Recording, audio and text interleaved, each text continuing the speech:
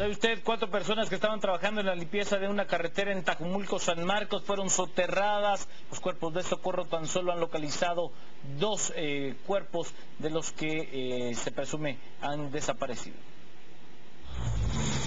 Cuatro personas fallecieron soterradas luego que una luz de piedras les cayera encima. Federico Chávez Chávez, Matías Chávez López y Jerónimo López Morales y Rafael López Chávez trabajaban limpiando un camino comunal en el caserío La Unidad Tajumulco cuando de un cerro cayeron piedras y lodo.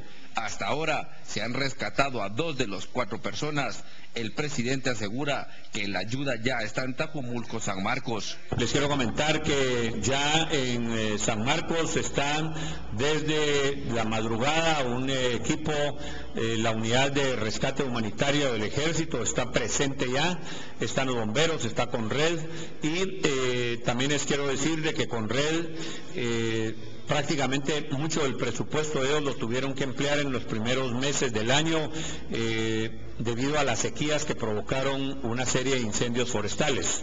Sin embargo, desde el día lunes se le trasladaron 8 millones más a Conred, que ha empezado a comprar eh, pues, los productos que son necesarios para darla, estar preparados para responder en casos de desastre, especialmente en ayuda humanitaria, y están listos también 90 millones de quetzales que ya están en caja, que el ministro de Finanzas los pueda trasladar en el momento que sea necesario para que la Conred tenga los recursos necesarios.